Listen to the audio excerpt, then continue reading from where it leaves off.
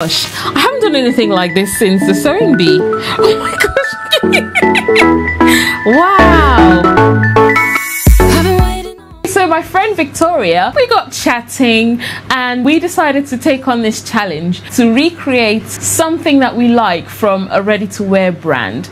Now the brand that caught our eye was um, Dream Sister Jane. Victoria knows about them and she's had her eye on them. I thought, you know what?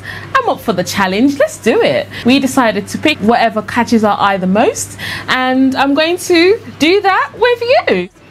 Sister Jane, there we are. Yeah, when I looked at their website, I thought, oh, vintage.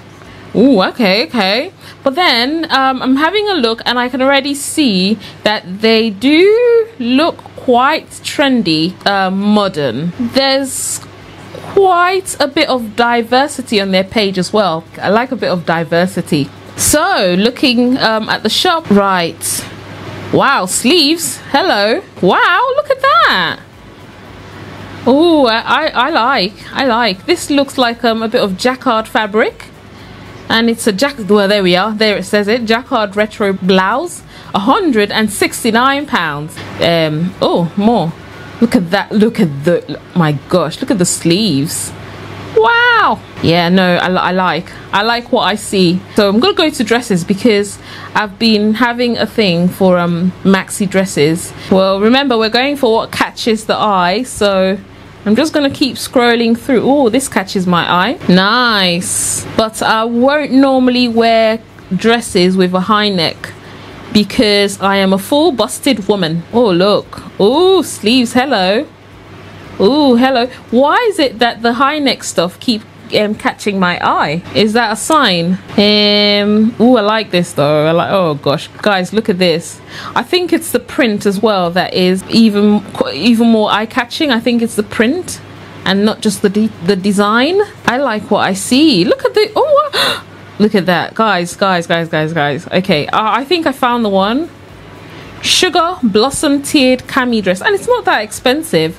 85 pounds. Okay let's have a better look at this fabric and this design. It's got a tie detail how many ruffles how many tiers six. Imagine if victoria makes exactly this dress okay. It's not a bad thing is it? I found the one. I, I think what i like about this is the the print like the scales of the prints. You got the large and you got the small scale print. I think this fabric is a bit of like a georgette fabric. Um so uh, it looks lightweight because of the way the fabric drapes. And i feel like i can see a bit of her leg which means that it's a bit see-through so it's quite lightweight. So we need to opt for something lightweight or as close as possible. But now I have a few thoughts on copying and recreating. We get inspired by things that we see online or in magazines or in store and it's there's a, a, fine line between you know someone designing something and someone else copying it. So i'm going to try my best to add my own stamp to this design and not be a copycat. What do you think about that? Do you, when you see things that you like, do you, do you, do you feel like you're copying someone's work when you create clothes for yourself, when you get inspired by things you see online? Let me know. Here, I've just gone through my stash and I have these two fabrics, which are similar in weight as well. I've got these two options black and brown. Black and brown is quite a it's a unique color combination. And then i've got these two. But the problem with these two is um they're cotton. And um, but then who says you can't make something work? Do you know what? Let's just have a look at the options i don't know what's wrong with me we're to switch things up a little bit and I've got some Ankara fabric. so I have this one here. I think I've got about a yard left of this brown fabric. Then I've got it in red. And then I've got the pink option. And then I've got the green option. you already know that I've got issues. So I am leaning towards the Ankara, just adding my own stamp to it and um, changing it up rather than going for polka dots. So I think we're going to go with Ankara fabric.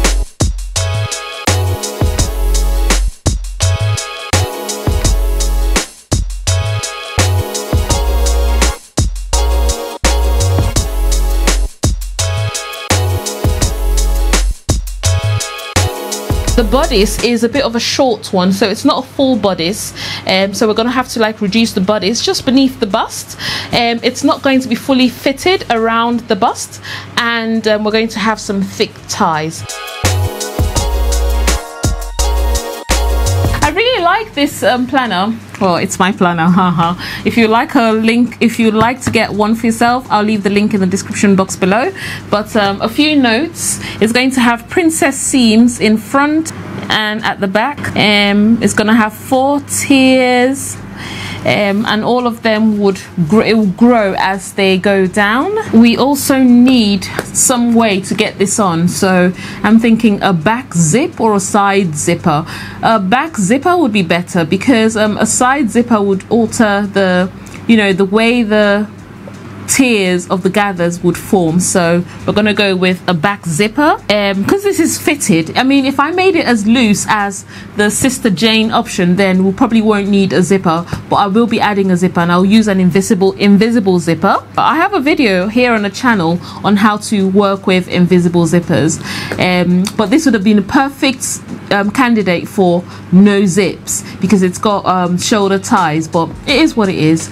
Now that I have decided on the design and I know what exactly is going to go on the garment and how it's going to be constructed. And we have an idea of what fabric we're going to work with. The next step now would be to go ahead and print a copy of my basic bodice. I'll leave the link to the basic bodice set in the description box below and transform it into a princess seam. Um, so all these things I'm going to do and I'll get back to let you know how I get on with it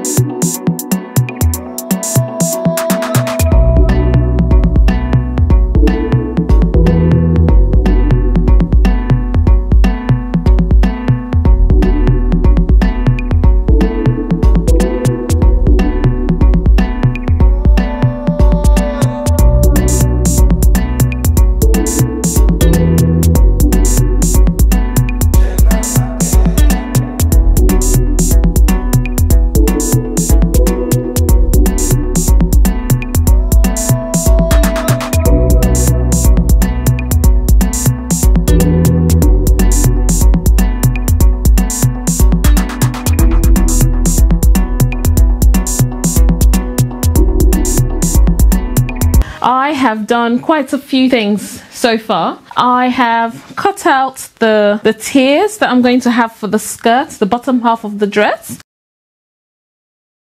The top half is pink, obviously, as you can see. I used the same material because they're going to be they were going to be in the scrap box anyway so I decided to use them for the lining so the main pattern has been cut out twice so one would be the outer shell and the other one would be the inner shell. But with the inner shell, I didn't bother about pattern matching because pattern matching has used up a lot of the fabric. Got like ties. The ties will not really match on the inside because I don't have a lot of fabric left. So for the bottom half of the skirt, here's what I've realized now. I have the, okay, so here's what I have. The, the first one would be green. So pink, for the bodice and then green and then pink and then green. I mean, the people have spoken, so I have to do what the people have said. if you're not following me on Instagram, please follow me on Instagram. That was where I did the poll and that's where I found out what people suggested for me to do. It's really, really fun. It's pink and green. So I've done the green, then pink, green, then pink.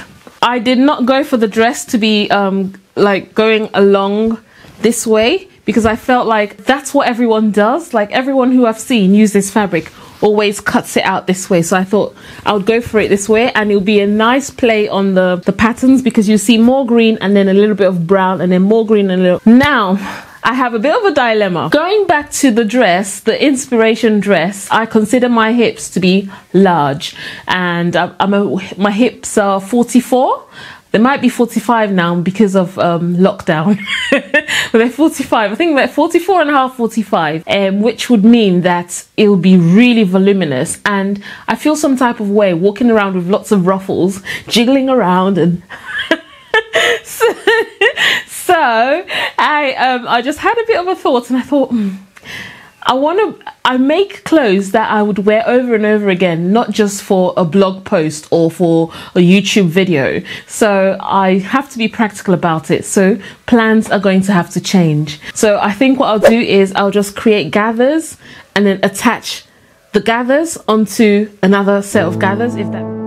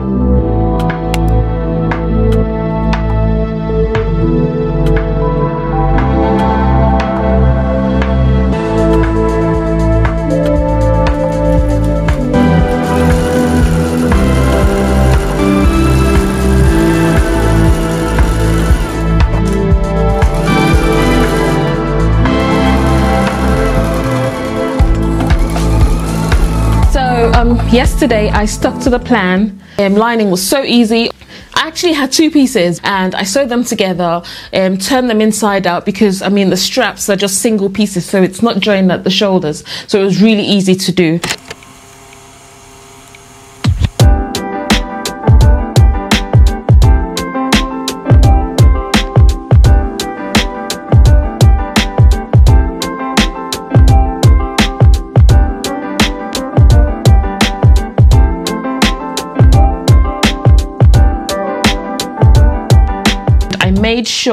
That I understitched the seam allowance onto the wrong side to make sure that the seam, like the the neckline and the armhole stay flat and you don't see any bit of the lining.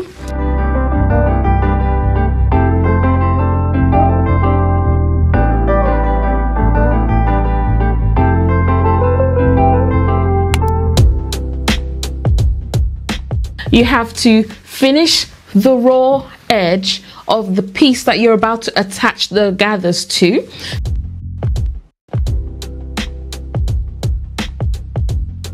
Also, I sewed the lining to the main piece together. So you would see here that I do not have any raw edges showing. And on the other side, I have the, the ruffles on top.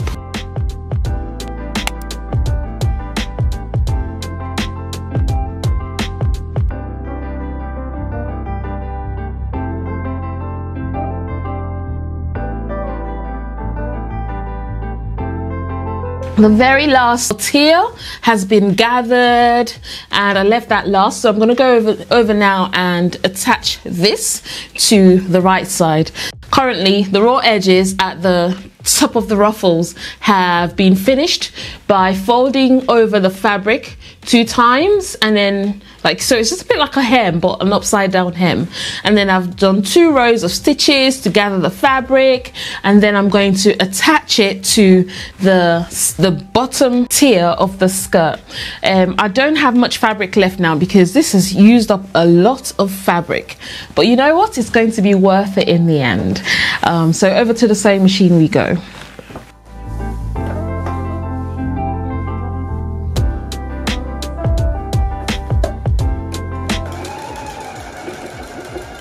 The funny thing now is going to be imagine if um, Vic does the same thing as me. That would be so funny, won't it? That would mean that we're in sync. I can't wait to see what she creates.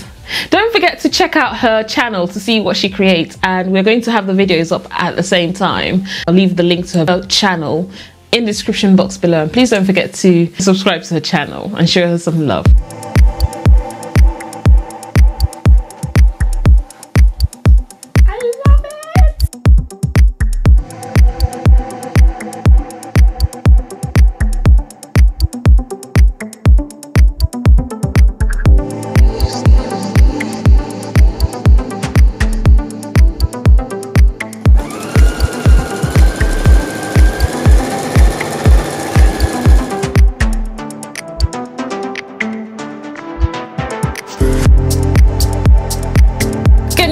Tell that I am absolutely in love with my new maxi dress.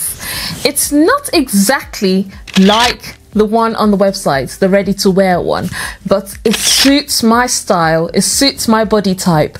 Um, key things. It, well, the key reason why I think it suits my body type better is it doesn't have the cut across neckline um, that is on the website because um, I find that those types of necklines like they sort of dig into my bust line and I don't like them. So I like this one because it has some sort of um, a natural sort of neckline and can you see it goes down like that and I love that. A tip that I'd give you if you want to have a go at doing exactly what I've done is please stay stitch the neckline otherwise it will do some gaping and you don't want it to gape. I think from time to time it's good to have a go at um, challenging ourselves and you know like extending or stretching our our knowledge that little extra bit it might take a bit longer than you normally would when you create clothes but it's just the challenge is excellent and um, I think I should try more of these sort of challenges. Oh, let me know what ready to wear line I should have a go at recreating next time. Let me know what you think about mine in comparison to the ready to wear sample on the website and um, I have these videos here showing you how I hack basic sewing patterns into different designs and I hope to see you over at those videos. Enjoy the rest of your day and all the very best. Take care. Bye.